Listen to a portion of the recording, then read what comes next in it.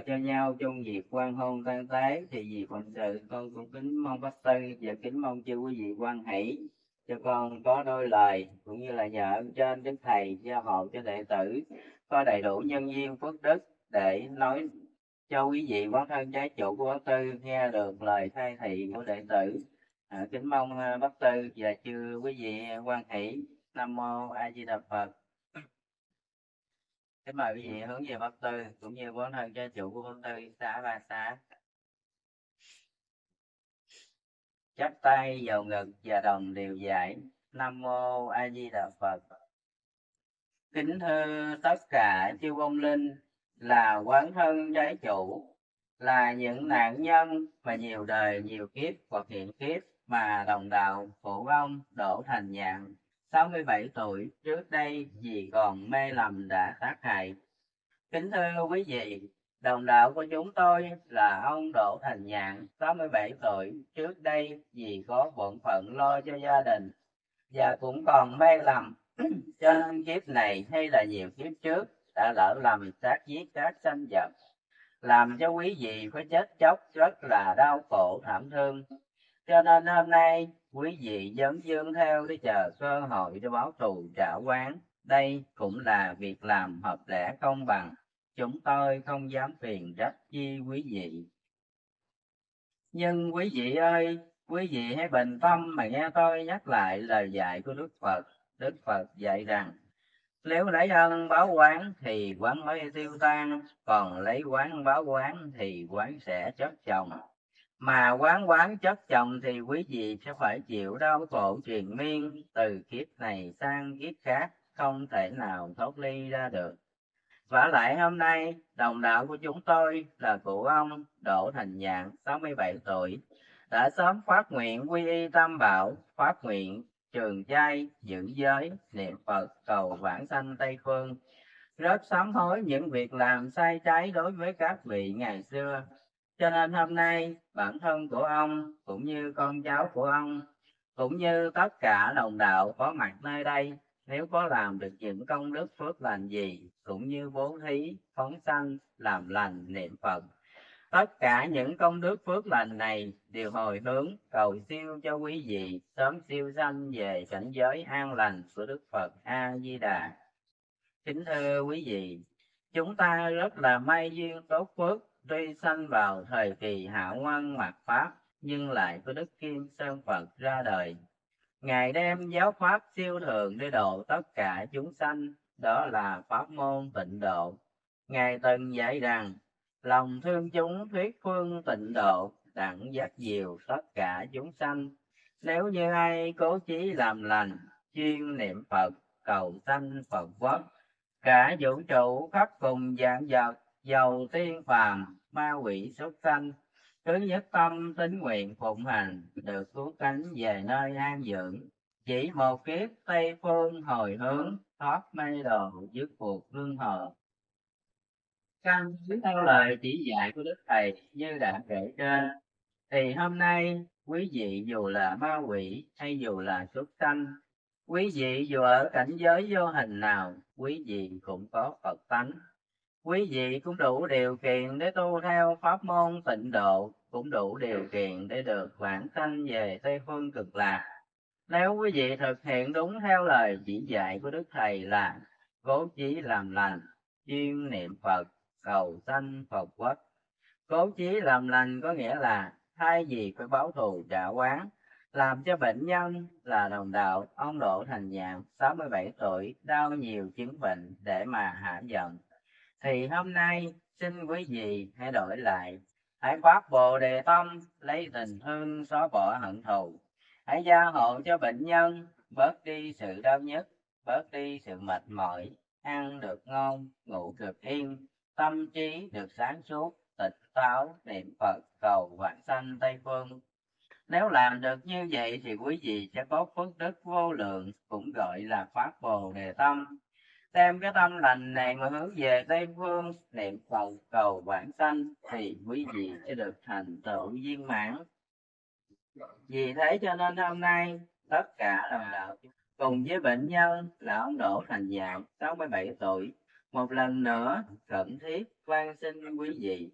Xin quý vị hãy vì lòng từ bi bác ái của chư Phật mà hãy buông tha hãy phát bồ đề tâm tham gia với chúng tôi. Chúng ta cùng tu tịnh độ để mà thoát khổ. Bởi vì thời kỳ này là thời kỳ đại ân xá, đức thầy cho biết kỳ sở tội nay còn một lúc, sao chẳng tu đặng có hưởng nhờ? Hay là thời mặt pháp là kỳ đại xá, luật tu hành chẳng có như xưa? Tại gia niệm phật sớm chưa? Cũng là có phật đến đưa đón về hay là giàu xưa kia làm điều tội lỗi, tay thật tâm cải hối an đang tội kia tất được tiêu tan chỉ như gừng củi lửa xăng châm vào. Hay là hạ quân trời phật thả tù, niệm phật một tiếng, phật bù mười câu. Kính thưa tất cả chư quý vị hương linh, đây cũng là cơ hội môn thu mới có một lần mong rằng chư quý vị hãy nhân cơ hội này mà làm phát hãy buông xuống hết thù quát giận ờ hãy phát bồ đề tâm tham gia với chúng tôi, chúng ta cùng tu tịnh độ. Chúng ta đồng thành tâm niệm phật, đồng thành tâm phát nguyện cầu vãng sanh tây phương. Để được mãn kiếp, hồng trần, sanh lạc quốc hưởng công niệm phật, trở kiên lành. Nam mô a di đà phật. Kính mời quý vị xá ba xá. Kính thưa quý vị, tiếp theo chương trình là đến phần dầu phá niệm Phật, lễ Phật để đem công đức lành hồi hướng qua giải nghiệp bệnh cho bất tư. Thì trước khi dầu phá niệm Phật cũng có trình ở trên Tam Bảo, kính thỉnh chư vị hướng dẫn Tam Bảo, xá ba xá. chắp tay dâng lên trán thành con nguyện. Nam mô ta bà giáo chủ bổn sư thích ca mâu ni phật. Nam mô ta bà giáo chủ bổn sư thích ca mâu ni phật nam mô ta bà giáo chủ bổn sư thích ca mâu ni phật. Nam mô thập phương phật. Nam mô thập phương pháp. Nam mô thập phương tăng. Nam mô Phật Tổ Phật Thầy. Quan Thượng Đẳng Đại Thần. Chư Quan Cự Thần. Chư Vị Sơn Thần. Chư Vị Năm Non Bảy Núi Cảm ứng chứng minh.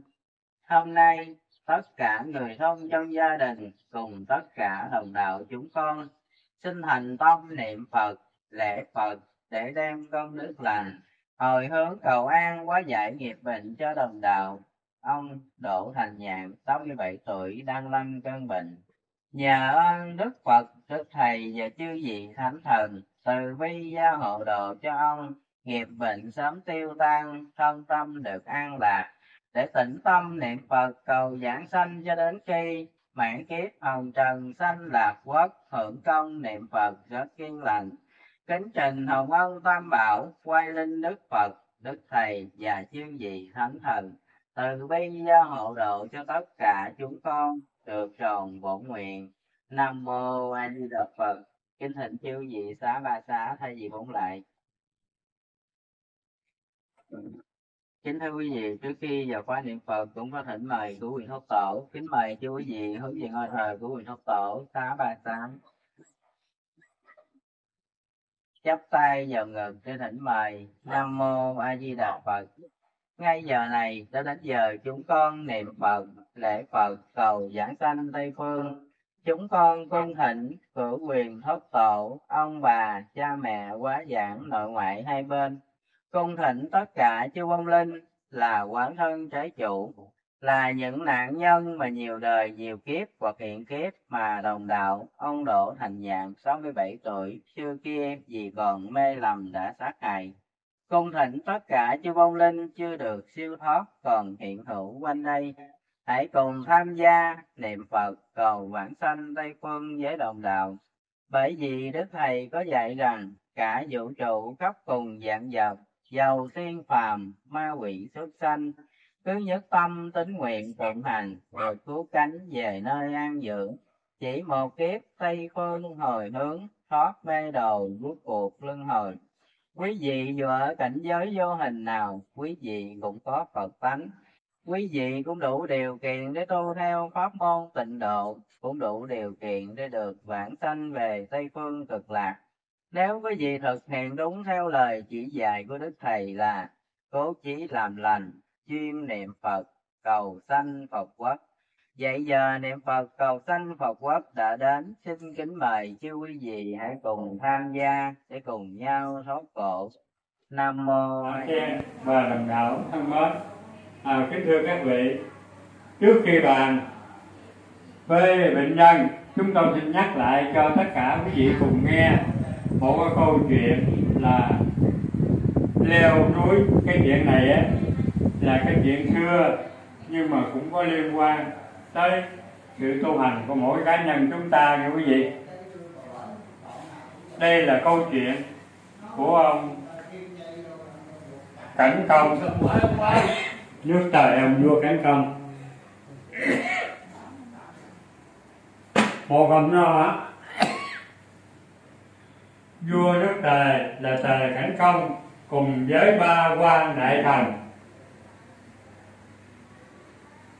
Là lữ sử không, lưu phương cứ là hai quan đại thần và quân sư mai với anh, ba người leo núi, đi chơi. Như cũng như là bây giờ ta nói là đi tham quan vậy đó. Nhưng mà nội cái nghe nói là mình nghe giới thiệu mình biết rằng cái núi này rất thấp.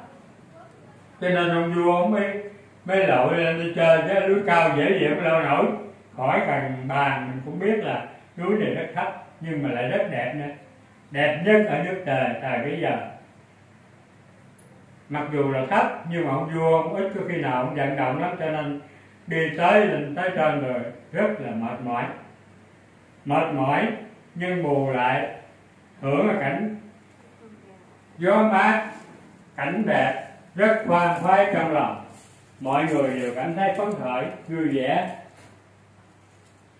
Thưa quý vị trong lúc đó cả ba người tức là ông quân sư mai yến anh à, lưu phương cứ và lữ sử không ba hai quan đại thần cùng một ông quân sư đều thấy khoan khoái thấy vui nhưng mà tự nhiên ông tài khánh công cũng khóc. Chuyện cũng lạ tự nhiên thành thấy cảnh đẹp thấy cảnh gió mát trăng thanh không không có thanh xin lỗi không có trăng thanh có gió mát có cảnh đẹp không nghe cái gì. Mà đáng lẽ vui phải là không vui mà không khóc thì hai quan đại thần nó hỏi ông vua tâu bệ hạ gì duyên cớ gì mà bệ hạ khóc? Ông vua trời cánh công ông mới nói rằng các anh ơi chậm lên tới đây chậm mới nhìn thấy cái núi ở nước tề rất là đẹp mà giờ nhìn ra bốn phía. Là đất nước của ta, chỗ nào cũng đẹp hết, nhìn cái cảnh nào cũng đẹp hết. Mà trẫm thì tuổi càng ngày càng già. Không biết sống ngày chết mai là thế nào. Rưỡi mà trẫm chết rồi, cái cảnh đẹp này ai đâu mà hưởng, ai đâu mà làm chủ. Chắc phải giao cho người khác. Chứ trẫm đâu còn làm chủ được nữa. Nghĩ tới cảnh đó mà tự nhiên trẫm phải buồn, phải khóc nghĩa là thấy cảnh đẹp chừng nào lại khóc nhiều chừng ấy. Tại vì mình nó sắp chết rồi, còn đẹp xấu gì nữa? Mà đẹp giao lại cho người khác đâu để, đâu có để cho mình. Cho nên ông vua trời cánh công cũng khóc. Cái hai qua lại thần nói gì? Ông nghe nói nhưng ông suy nghĩ chút rồi các ông cũng hòa ông khóc theo. Khóc theo ông vua. Nó nói, tôi bệ hạ bệ hạ là bậc chi tôn, là chủ trong thiên hạ. Còn chúng tôi là bậc tôi thần của bệ hạ hưởng được vinh hoa phú quý chẳng qua cũng như ăn những cơm thừa canh cạnh của bệ hạ, nghĩa là bệ hạ ban cho những cái thức ăn thừa mà chúng tôi hưởng được sung sướng mà chúng tôi khi mà bỏ cái quan chức này, chúng tôi còn cảm thấy khổ, cảm thấy tiếc. Huống chi là bệ hạ làm vua mà thất bỏ đất nước bệ hạ khóc là phải rồi. Ha, nói là cả ba người cùng khóc. Lúc bây giờ còn một ông thứ thứ tư là ông quân sư mai anh. Ông dần thấy ba người khóc mùi mẫn quá thống thiết quá chẳng lẽ đáng lẽ là ông cũng khóc theo. Nhưng mà ông không ông là người trí thức cho nên ông không chịu khóc như vậy. Ông mới ngửa mặt lên trời ông cười reo làm như thế là có chuyện gì sung sướng lắm vậy? Ông vua ông tức mình. Mình đang khóc, mà nói là tôi thần mà nó cười. Không giận ra được. Hôm nay ngày quân sư, cảm vì xúc cảnh thanh tình cho nên buồn khóc. Hai quan đại thần